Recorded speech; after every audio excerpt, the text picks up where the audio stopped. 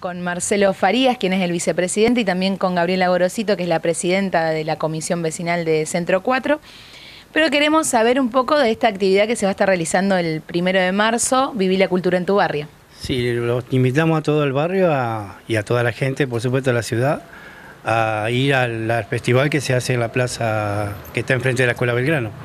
Eh, va a estar lindo, va a haber cantantes y va a ser un evento muy lindo. ¿Se espera mucha gente? Sí, ojalá, ojalá que llenemos, ojalá que llenemos. Y la gente le va a gustar, le va a gustar. ¿Cómo están viviendo eh, la creación de esta nueva comisión como directivo? ¿Cómo ves la respuesta de la gente? Mira, en esto somos nuevos, nuevo, nuevo y no sabemos muy bien todavía, pero lo queremos hacer bien. Y queremos que la gente sepa quiénes somos y que vamos a pelear por el barrio. Y lo vamos a dejar muy lindo. Siempre con muchas ganas y la positividad se puede llegar a ver eh, en, todo lo que hacen. Sí, sí, sí, eso es lo que queremos, eso es lo que queremos.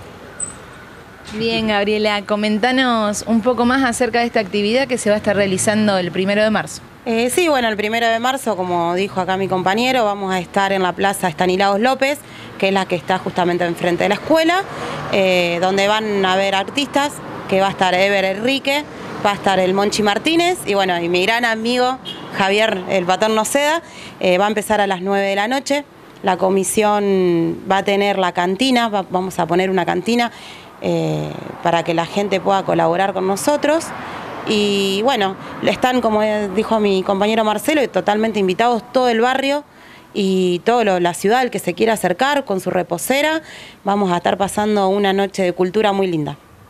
Bien, ¿qué tipo de otras actividades tienen programadas desde la Vecinal 4?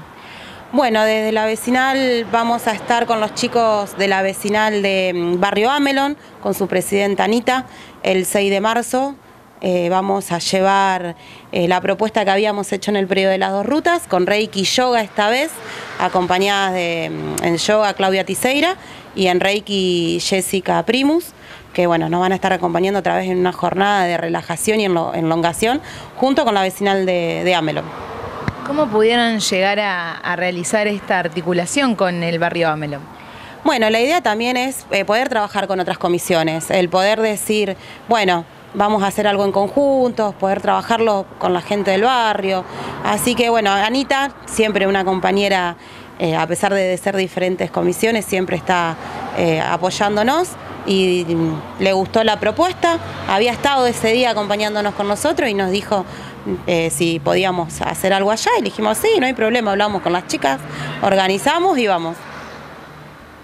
Qué bueno, ¿no? La articulación entre las vecinales, qué, qué tipo de opinión podés llegar a tener acerca de, esta articulación. Y a mí me ayuda mucho a, a vincularme más en esto, porque somos nuevos y no sabemos todavía. Y ellos como tienen más experiencia, por ejemplo, no, nos ayudan mucho. ¿Tienen otro tipo de experiencias con, otro, con otras vecinales? No, con otras no, no. No, pero nos gustaría juntarnos y unirnos a todas. Bien, ¿qué, ¿cómo los va encontrando el barrio? ¿Qué otros proyectos están realizando? Bueno, la verdad que es como yo te lo comenté la otra vez, la vecinal arranca ahora no estuvimos haciendo con unas chicas un censo que bueno, eh, decidimos suspenderlo por, diferentes motivos, eh, pero bien nos hubiese gustado poder seguirlo. Eh, invito al barrio, todas las personas del barrio que tengan alguna duda, que quieran que la comisión los ayude de alguna manera, si bien no nos conocen, si bien siempre pueden llamar a la municipalidad, para, a vecinales, para que le den nuestros contactos y poder solucionarlos. Como yo te comentaba la vez pasada, hay problemáticas que ya se están trabajando, eh, porque algunos obviamente no es que no conocemos a la gente, sino que hay un sector que no se conoce, pero bueno, eh, la MUNI no está no está tratando de, obviamente, en tiempos eh, que ellos puedan ayudarnos, eh, pero no, yo quiero que la gente se acerque a la comisión. A veces uno ve el tema de los eventos y demás y dice otras cuestiones que también el barrio necesita. Pero bueno, queríamos ah, decirle a la gente que ellos pueden contar con la comisión. Simplemente se tienen que acercar, pedir los números de contactos en, lo que es la vecinal eh, con el señor Mauricio Jaime, que es el director, y él le va a dar nuestros números y nos pueden llamar, pueden venir eh, a mi casa, por ejemplo, que, que, yo no tengo problema y, lo tratamos de solucionar eh, de alguna manera. Marcelo, quiero que nos cuentes la vivencia, ¿no? Y la importancia de que cómo se siente de ser un vecino y poder participar en una comisión justamente para, para ayudar al barrio y a los otros vecinos. Sí, sí, Me encanta, a mí me encanta el barrio, me encanta la gente que y yo los quiero ayudar. En lo que pueda los voy a ayudar. Y si tienen alguna, alguna queja o algo, me lo pueden decir, yo siempre estoy a disposición.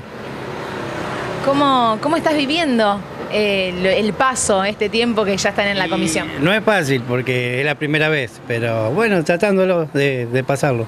Me gusta, me gusta y me gusta ayudar. Siempre con la insignia del barrio, podríamos decir. Siempre, siempre, siempre. El barrio es, es todo es todo y me gusta verlo bien y me gusta que progresemos.